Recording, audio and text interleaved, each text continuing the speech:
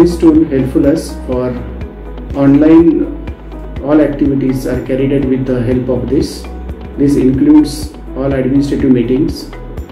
The student, there are about 600 plus faculties are already uh, working on this.